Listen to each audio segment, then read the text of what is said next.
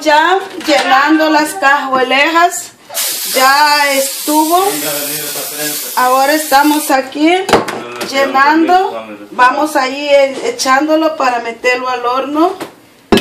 Pero quedan unos marquesotes muy sabrosos como los comía ya para los tiempos de Navidad, de, de 31, todo eso, ¿me entienden? 100% salvadoreños.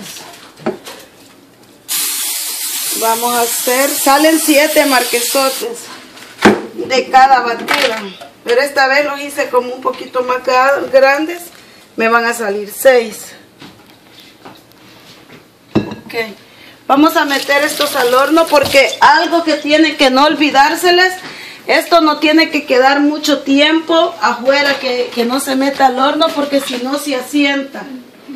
Esto tiene que ser rapidito, luego que apaga la máquina, tiene que meterlo rapidito, corriendito al horno, porque si no se echa a perder. Vamos a sacar este para meter al fondo este. Ahí está ya. Ya se van a cocinar.